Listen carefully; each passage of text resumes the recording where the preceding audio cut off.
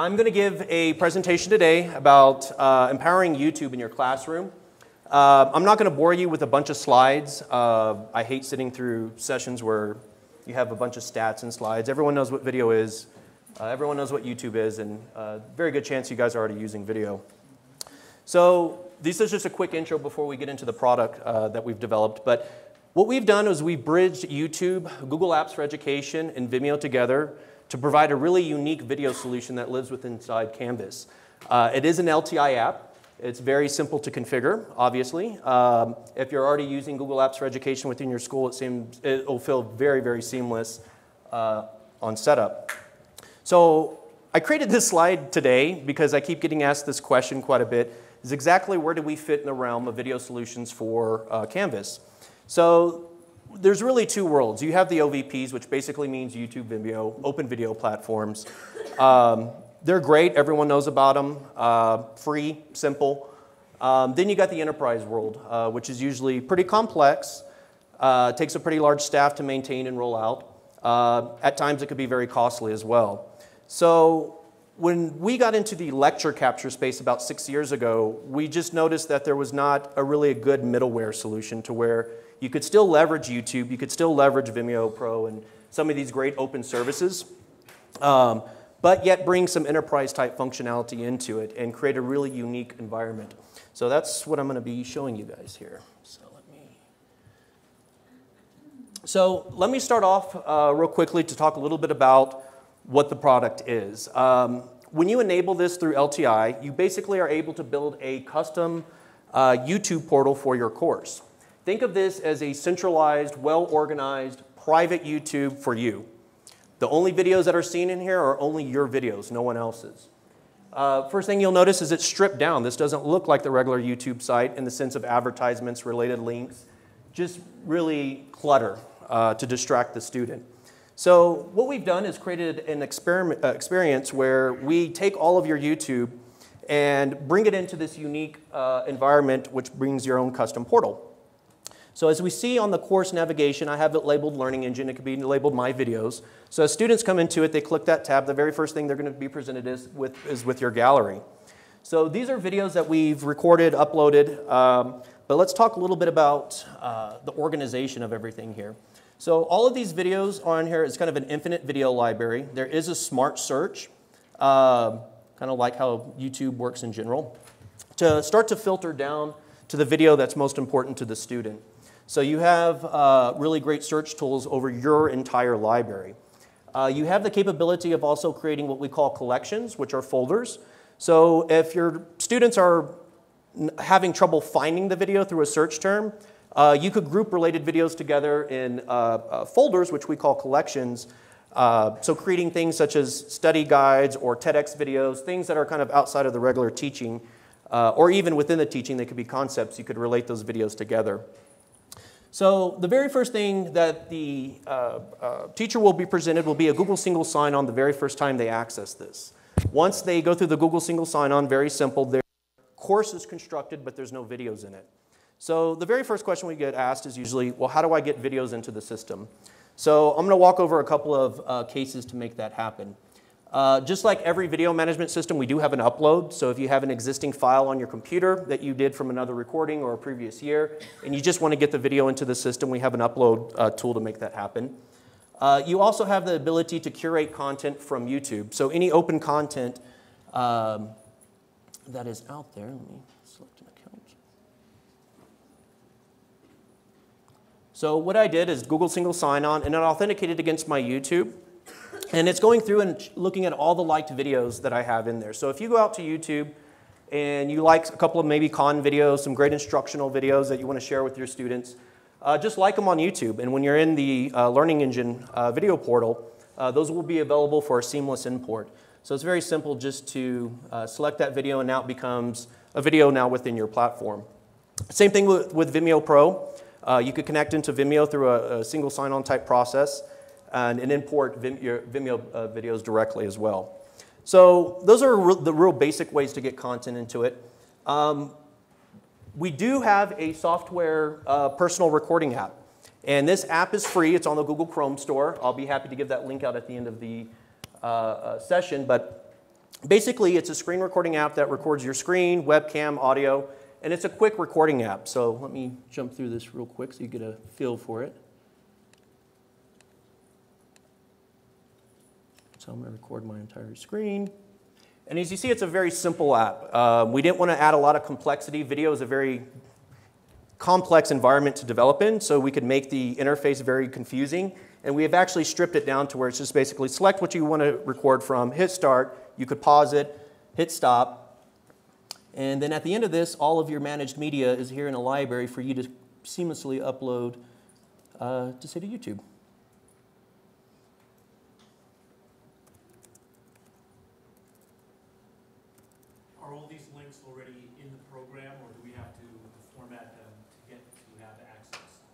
Uh, what do you mean by that? I'm sorry. So if I want to get my videos in there and I'm using Chrome already, mm-hmm. is there already a, a pre-designed default that's there? As soon as I click, it's there, or do I have to create it? No, basically, the way the app works is it just presents you your devices that you have, and then you just select. Um, you could do an audio only, you could do a webcam only, or you could do a screen with a webcam in it to make more of a rich presentation.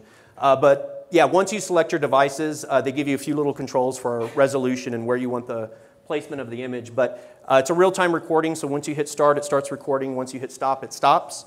And we have a seamless uh, upload directly into YouTube. You can also browse for files locally here through, uh, as well as our website to get files into it. Uh, this platform actually works with, um, or this app itself works with uh, YouTube and Vimeo. So once you authenticate the account with your Vimeo Pro account or your YouTube account, uh, that's how you get the start, stop, upload without really much interaction between there. So that is one way to get content into our platform. It's a, it's, it is a Google Chrome extension, so it works across all operating systems, including Chromebooks. Uh, does not work on iOS, obviously. Um, it lives within the Chrome browser. So if they're using Chrome to access Canvas, it's just, again, native to the whole environment. They're not going outside, looking for desktop software, installing it. Uh, the app also auto-updates, so you don't have to worry about um, uh, faculty and, and IT, more importantly, updating the software every few months for bugs, fixes, updates. Uh, with the Chrome uh, piece, we actually push all the updates live. So it's a really great app for, for recording. And again, it is free. Uh, you don't have to use it with the Learning Engine. You could actually record and save files locally, uh, but we do have those hooks into YouTube and Vimeo Pro. Um, so those are ways that we could capture content and get it into it. I will not dive into my hardware. Uh, we also have a hardware-based appliance. It's really for mission critical room recording. So in universities where you might want to record every day, eight hours a day, there could be absolutely no failures, has to be HD. Teacher does not want to interact with it. You have to have hardware. There's, there's no software that's going to answer all of those questions. So we do have a very nice open hardware appliance because we have an open philosophy in development. Um, but that could act as a dedicated room recorder. Um, and all of those videos could automatically sync into your course as well. Um, and I'll show you the end result of, of one of those I think. This is the only video I have in here for sample, but what we're looking at is just a hardware recording, just so you see the differences in them. Uh, this is just a four source recording, and the way it works, let me, hopefully internet will be nice. Jump out here. Perfect. So let me buffer it out so the way it works is you record all the different perspectives in the room. Uh, each of them are concurrently recorded, and basically all of the videos are synchronized together and put into this playback experience. And the way it works is all of the sources that are being recorded could be switched in real time. So the video, unfortunately, is not fast enough right now, but uh, uh, if I'm at 18 minutes into the video and I actually want to look at the document camera and not, say, the talking head or the computer screen, I could actually switch to that perspective and watch that in full HD. Uh, so that's the only really difference between the rest of our capturing uh, products and our actual hardware itself. Uh, it gives you a multi-perspective. Now, the great thing about this uh, technology is, you know, a student watching a video, student A could actually be more interested in the document camera. Student B could be looking at it and be more interested in the PowerPoint. So you're letting the user switch to the content that's most important to them, which uh, is really great for students. How is this for mobile? as far as the experience, it's complete HTML5. I'm sorry? Could you go back to that player that you just had? I noticed you had some buttons at the bottom. I'm curious how that would work for mobile. Uh, it's all HTML5. So, if I'm you would see those tabs under it. On an iPad, it would come full screen. I'm just curious how we would switch it. Yeah, I, iPad, it's iOS, you know, good old Apple uh, being proprietary. It's, there's not a way around it. So I'd stop it, switch it. It would stop and switch. If, if you're using Android or any other type of tablet device that's not iOS, you actually get the same exact experience that you would see on here. No, good question. So, you know, I demonstrated the, the, the portal itself. Um, I'm going to get into some of the video uh, because this is actually a very important piece in it. So earlier I started, started to type a keyword because as a student I knew there was a video that talked about the speed of light. I don't know which video it is. There's four or 500 in here. So I start to search and I drill down to it. Now, the very first thing that you notice is I type the word speed. That's not in the title. It's not in the description. There's not even tags for it. How did it find it? So we work with data from a couple of certain perspectives. We call it video data, the title, description, tags. That allows you to point to find the actual video itself. But we actually have a mechanism to index the entire timeline. So any second of the video, you could actually add text to it for search and discovery. So what happened was actually on that global library search, I typed the word speed, it found the video, but it actually knows the word speed was mentioned in here. Um, so as I start to uh, type this out, you could start to see different uh, keywords pop up. Nope, that's not what I'm looking for. Let me keep typing. Oh yeah, speed of light, 3 minutes and 27 seconds. So the idea is to really drive the, the student down to the point in time. If you look at any video, doesn't matter who's hosting it, uh, they only watch about 10% of the video. It, it, it's true. They go in and they're, doing, they're using the most popular button on YouTube that no one talks about. It's called the scrub bar. Uh, they scrub to find what they want. If they're smart and kind of understand the content, then they could probably find it. If not, they move around for a few minutes and just say, I found it or I didn't, moved on. So this gives every student the capability to find different pieces of content within your video. So I don't have a lot of content in here. I just created this as an example, but obviously I could add pretty much any piece of information to any second within the video. So I actually wrote a, a note for students as well uh, just talking about the speed of light and a particular moment within this at 2 minutes and 55 seconds that I want them to watch. So what we're looking at right now is just timeline-based data that's associated to the video that allows uh, the students to do a deep dive uh, into the uh, video. So we have a little tool called the Notepad, and basically this is all the teacher notes that are on here. So I could view, if you have long form notes and you have a ton of notes that you want to go through, you could actually add those in here. Uh, it doesn't matter, they could be short references, you could add links in here. Uh, the point is, is it's content that's associated to the video in real time that's playing back. So as the video is going on, this notepad rolls and it shows the, the notes for that, and obviously they could click on any of those to jump to the point in time.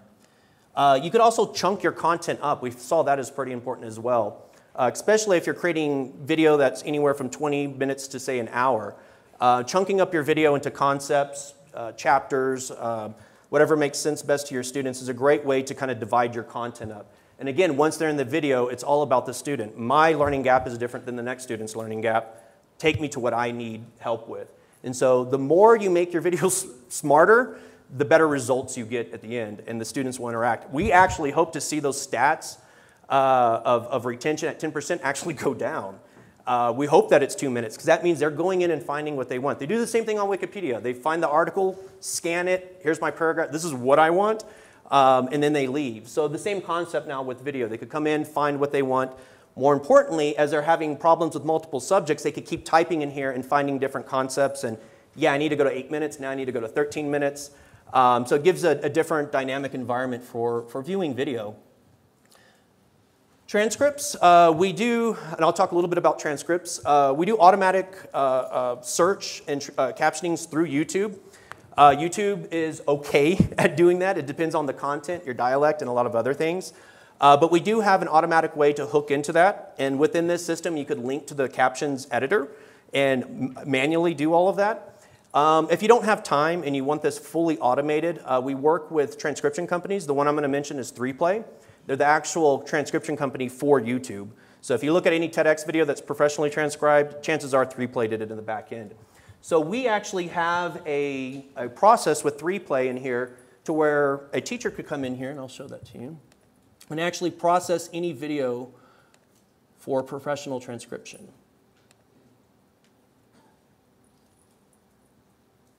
actually, I'll scan down this page real quick. This is our uh, uh, editor to add text or, data to the timeline.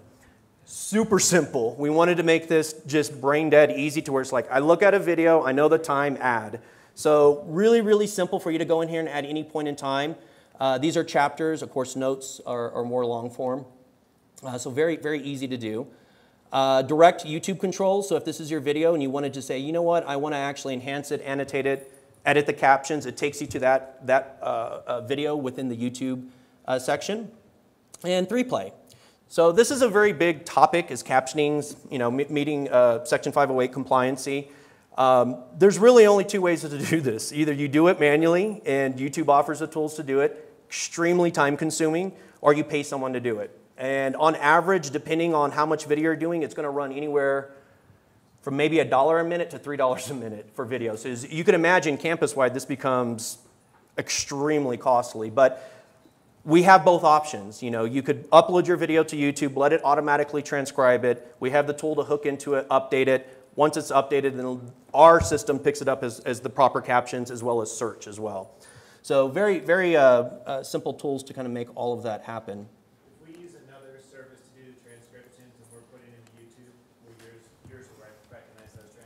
Absolutely. Uh, to be honest, if you already have a transcribed video on YouTube that you paid for, we'll pick up those SRT files and automatically include that into our, our mix. Um, so yeah, if you already have, you could use pretty much any captioning platform. There's tons out there that are just software driven that you could install. They all output a file and you could append it to this process and now that video takes advantage of it. If, it, if the video um, transcription comes across with errors in it, Mm-hmm. can you, the instructor, go in and make corrections to it? Absolutely, because what's going to happen is the, the teacher is going to use their own Google account, right? It's under their account, and they own that video, so they're going to have direct access to that captioning. The great thing is they could actually open up shared access to that, so if there's students that want to help with that, or a TA or something like that, uh, YouTube allows multiple people to come in and kind of joint edit. Uh, but yeah, it's basically the rule is if you own the video, you could edit the captions that YouTube automatically uh, generates for you. Um, I'm going to jump into one more thing here. Let me. So we, it is an LTI app at the end of the day. Uh, so obviously you saw the course gallery integration. Uh, we have another integration that allows you to embed video into any piece of content within Canvas. So if you're creating group content, course content, um, you could you know, come in here, typical WYSIWYG editor that, that you're comfortable with, and there's a little button here. And once you click that, the video gallery now pops up. It's the same exact course gallery that I just showed you. The only difference now is you could come through here and say, yes, I want to embed that Einstein video. And so now that will be a reference link directly within uh, that course content. So just another way to, to use it. Uh, in all honesty, we support every LTI extension. Uh, so navigation, modules, and all the others. Uh, just this tool and the course assignment is the most popular ones. And then they have functionality on that linked video. Yes, actually the same experience that I showed you with the search, they get that full experience still. So all the rich interaction stuff is still uh, persistent even though you embed it. Could they go outside of that video to another video from there? No, this is more about selecting a video asset. You could add multiple videos in here, so watch video one, watch video two. Uh, we don't really have the tools yet to kind of like do that, that linking type uh, capability in there. Uh, but just a really quick, simple way to get uh, video into uh, any type of content that you're creating within Canvas.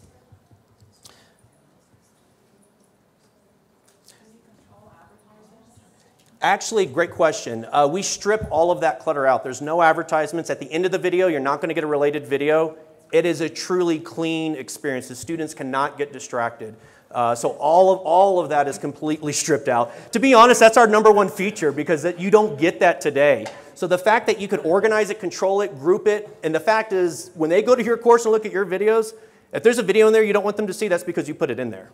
So um, you have great, great, great control over it.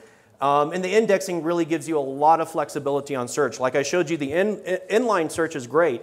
But what happens if you build your course library over the next few years and you have 100, 200, 300 videos in there um, that you want to keep repurposing? Um, you're going to want to be able to, uh, to make that happen. You could also push these videos to different courses. Uh, if you wanted to share a particular video you created, but there's another course that you want to dump it into, you could actually share this, this course or this video that you've created in the Learning Engine and share it with a complete different course as well. So you could move video around courses if needed as well. All of the analytics behind this is Google Analytics. So we tell you to put your Google Analytics key in here. So all the tracking is the typical YouTube uh, analytic tracking. Um, the most important I would say metric that's in there would be audience retention. You're going to want to know where they're dropping off. And 20 minute video, no one has looked at the last eight minutes. That tells you a lot, so you could recreate the video. Uh, so I definitely would use that as your best metric within YouTube, but it's going to give you all your basic statistics of, you know, how many, what devices are coming in and, and all the basic stuff with it. Question over here. Yeah, Just so I'm clear on what you've been saying, because you're, you're using a lot of text speak. Mhm. So for those of us who create, once we cr- create our Google or YouTube accounts and upload our uh, videos to that, Canvas will strip everything out that has nothing to do with what we're teaching. Yes, our platform strips all of that out. And so the final result is kind of a clean experience within Canvas. Because it's really our app, it's our service. And so everything that's coming in, we clean, we do a lot of work to kind of present this out. So yeah, if it's, if it's within here, it's, it's controlled that way.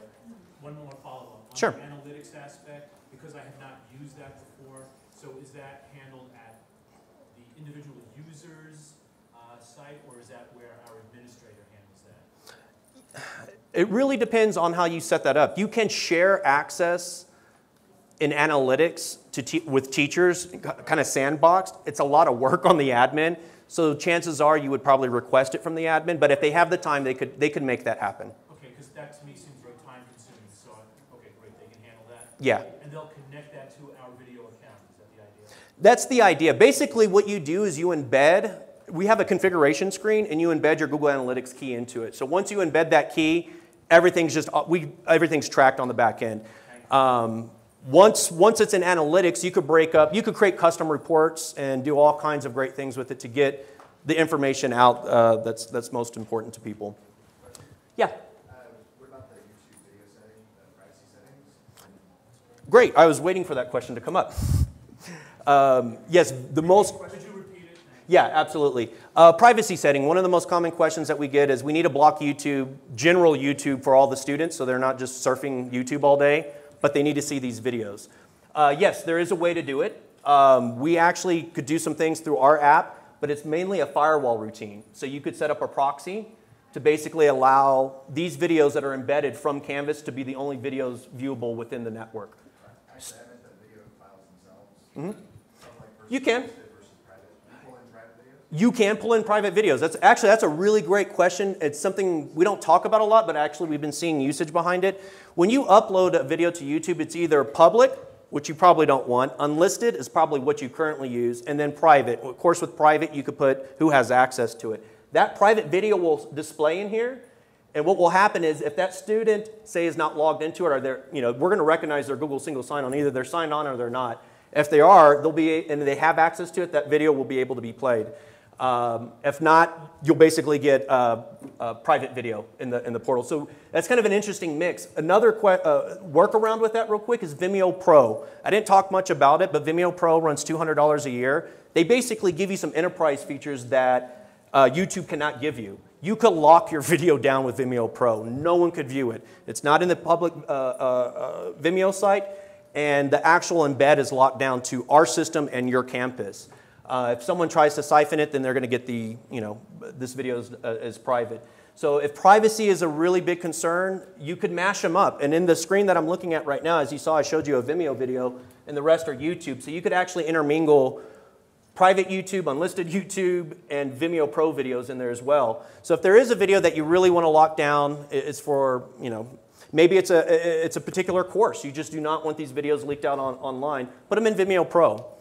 Uh, for $199 a year, you get same unlimited streaming, unlimited pretty much features that um, uh, uh, YouTube provides you, with the exception of uh, storage, and it's about a terabyte, which is a pretty large uh, uh, storage. But for that price, it's not too bad to secure and lock down your videos. Yes. Can you push, so we use modules a lot, break it up. Is this all existing in the My Video section, or can you drop in a module of video or series of videos? Yeah, you could do it in modules as well. Uh, basically, we support every LTI extension, which obviously Canvas supports. Um, so getting it even into the navigation control, you could do that. Modules, we've, had, we've seen uh, people do the integration with modules. Uh, the most two common ones are the course gallery, which we're looking at now, and then at the uh, what we call the WYSIWYG rich editor. And wherever that editor is seen within Canvas, you'll have the ability to embed that content. Mhm. All, Go ahead. Yeah, Do you do playlists? not yet. Okay. Not yet. We will. Is that course only support only one single the YouTube account and one video, one Vimeo account? If We- there is a multiple, like a core teacher, core teachers in. Basically, it's either lumped all together or individual. We recommend everyone be individual. So if your school's using Google Apps for Education, everyone, every teacher already has an account. So they would be using that particular account to do the authentication. Vimeo Pro, I would recommend being more of a, um, more of a school-wide type uh, access. That way everything's kind of dumped into there and then pulled in individually. Um, is usually our two, our two recommendations. Yes? Use your capture app to capture into YouTube. Mhm. Does that allow you to set privacy settings, or is, I mean, is that built into it? Um, no, it's not. Uh, it probably will be added soon, but you could default that on YouTube. So every video that's uploaded automatically is private, is probably the best thing, and then you select which ones you want public or unlisted. Any other? Yep. Um, So, um, Zaption and EduCanon are kind of like enrichment tools Mhm. I've played around with. Does this kind of remove those tools and you can do your own enrichment with the app? Yes, you know, I, you know, I can't give a, a good comparison between our products and those products, but yes, basically, the, at the end of the day, that's what it's about, enri- enriching that video. Um, just to let you guys know, we just launched this app about three months ago, and the team is working furiously on version two already. Um, just to give you an insight of what we're going to be doing, we're going to be mashing every single thing with Google into this platform. Uh, a lot of the work is already done. We're just trying to finalize everything. So integrating Google Forms for questions. Um, I mean, it's just the list is unreal of what we're integrating. Even chat widgets. Why? Because Google gives it to us, and so we're creating that into the whole learning experience and leveraging all those other interactivity things that Google provides, but they don't mash with YouTube very well. Um, so yeah, th- at the end of the day, it is, this is a really nice Google Vimeo mashup uh, for for Canvas. Um, uh, like I said, we you know Explain that a little bit more, what you're saying you you have on the roadmap, so. Yeah. Chat within the video, or? Basically Google Google Apps for Education gives you access to a tremendous amount of services, right? Uh, I'll give you an example of one. I don't like to talk too much about the features that we have coming out, but uh, student note taking. Well, how does that work? All students have Drive accounts. So we leverage different Google services to provide rich interactivity with this. Again, the student owns it, right? That's that if you are using Google Apps for School, why aren't they're probably using Drive for everything else? So all the note taking that will be done from the video. So if I'm a student, I want to take a note, my note at two minutes, it's actually going to be leveraging their Google Drive account. So just to kind of give you an idea of, of, of the integration uh, that's going on is we're really fusing together different Google services to do that. Chat in general, uh, uh, they have Google Talk, so that could be automatically embedded. Again, if you're using Google Apps for Education, everything's single signed on. So once they're signed on, just the widgets are automatically all going to pop and play. And you're using the video and the idea of the timeline Mm-hmm. to link this other content. Absolutely. Our, our biggest IP is controlling the timeline. So we have a lot of granular control over the timeline itself, and adding functionality around that is really our future and what we want to provide uh, uh, to students to give them more, more interactivity. But for now, you know, we looked at this first version as enriching. It's all about enriching your media so your students could search, discover, and interact with your video better than they can today. The next stage is student interaction and building more tools for them to collaborate and, and engage around a moment in the video or the entire video is, is what we're doing. Yep, um, might be last question, I don't know. Yeah, go ahead. Um, you kind of crossed off that iOS comment at the beginning. We're a largely Mac school. Does mean that most of these tools wouldn't work for us? No, the tool absolutely works for Mac, the Capture app doesn't. So only our capturing technology doesn't work for it. That- That currently is with Chrome. So we're, okay, thanks. yeah. So we can set it up a- as a teacher with our Google and our students, even though they don't have Google, still have access to the videos. Yeah, you could set this up individually per course or per campus if you wanted to. And they could use their personal Google account if they're not using Google Apps for Education, or they use their school's account. Cool. All All right. Well, thank you, everybody. We do have a, a booth out by the uh, showcase.